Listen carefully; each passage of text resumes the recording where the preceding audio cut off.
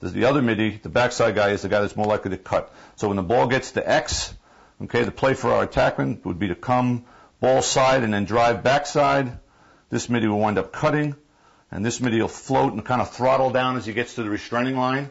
And this coach will lob a ball over. And like I said, we're in a skeleton situation here, so we wind up with a cut and a shot on the on the first live ball and a lob to the second guy for an outside shot.